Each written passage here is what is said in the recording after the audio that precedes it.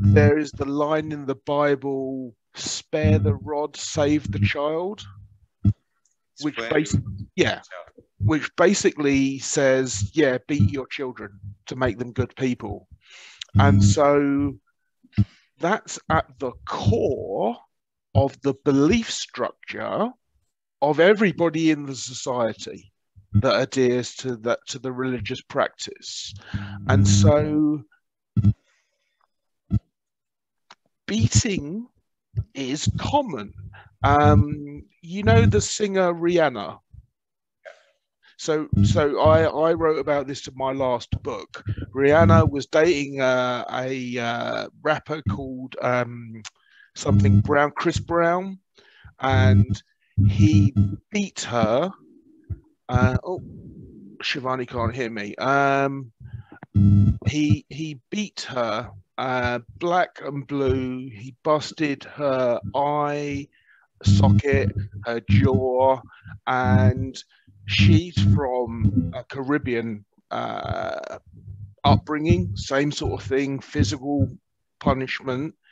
And she, after he spent two years in prison, she went back after him to get him back because, and I can't remember who made this point, unless she was beaten, she didn't see it as being love, home, leave an abusive relationship. She's the one that gets the societal uh, shaming. You've had to deal with that with clients of yours? Okay, I had someone who, um, so she's married, they mm-hmm. don't have children yet but the husband rapes her. Okay, so he forcefully has sex with her. He believes that she belongs to him because he has paid a right price. So every time he wants to have sex, she has to have sex. If she refuses, he beats her up and still rapes, sleeps with her. Okay, so um, that went on for a couple of years. Okay, like you mentioned, uh, we are very religious in this part of the world. Okay, so you know, she kept holding it in, praying for him, hoping that one day he would see the light and stop beating her, you know, and all that. And it went on for years. I think um, about two times she lost a pregnancy because of that. Okay, and he wasn't even taking responsibility. He was still hanging it on her that she wasn't fertile enough to give him children you know, and it went on for years. Finally, she summoned courage, reported him to um, I mean, people in the church. And you know, instead of telling her get out of that marriage, they're like, you know, you have to forgive your husband, it's the devil's handwork. You know, you have to help him go through this, help him come out a better man. You know, she stayed for another one or two years until she realized that okay, thankfully she had a very supportive family. So by the time our family members got to know what was happening because everybody was bothered.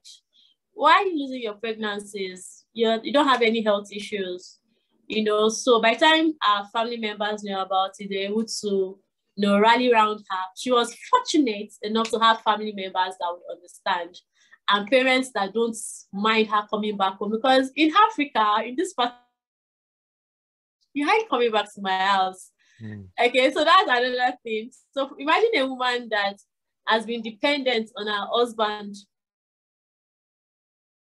for a long time. And you're telling her to get out of the marriage. Where will she start from? Her family would not even accept her. Okay, right. for this lady, she was able to leave because she has a family that were willing to take her back in. You know, and there have been different cases like that like that and um, so it's it's very major in this part of the world so you, you see people in marriages especially ladies that mm-hmm. are obviously being abused. And you know, the, another funny thing that happens if you report, so you are a neighbor and you report a policeman to the house, it will turn on you because the policeman will tell you it's family issues. Why are you getting involved? Is that bad? Okay, so you cannot even report a case of abuse. They'll tell you it's none of your business. It will be worse for you if the couples get to the station and tell you that you're lying Okay, the police people can even lock you up for lying. So there are lots of cases like that. That's I'm thankful that we're in the era where there's a lot of women empowerment.